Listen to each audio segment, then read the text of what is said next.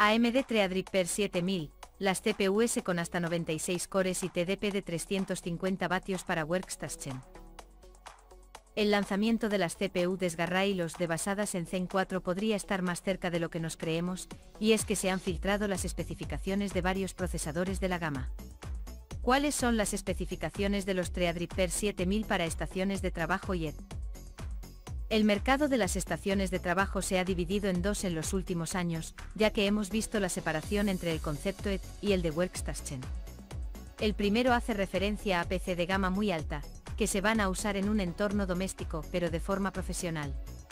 El segundo, en cambio, va un nivel por encima en cuanto a especificaciones y es por ello que AMD ha creado dos gamas distintas de procesador y placa base para sus Threadripper 7000. En el caso de los Threadripper 7000, la plataforma ED se basa en el socket SP6 diagonal 4844 con controlador de memoria de 4 canales de DR5 y 64 líneas PCI Express 5.0. Mientras que para las estaciones de trabajo se usará el socket SP5 diagonal 6096 con 8 canales de DR5 y 128 líneas PCI Gen 5, es decir, el mismo que los AMD EPYC por lo que estamos hablando de dos tipos de placas bases distintas y por tanto, dos series de procesadores distintas bajo el mismo nombre. Pues bien, por fin sabemos qué modelos van a salir de los Threadripper 7000 para estaciones de trabajo bajo socket SP5, pero por desgracia desconocemos todavía detalles como la velocidad de reloj, la velocidad de la memoria DDR5 soportada o el precio. Pero sí que conocemos cuál será la configuración en lo que al número de núcleos se refiere. La configuración más alta será la de la AMD Ryzen Threadripper 7995WX con una configuración de 96 núcleos y 192 hilos de ejecución.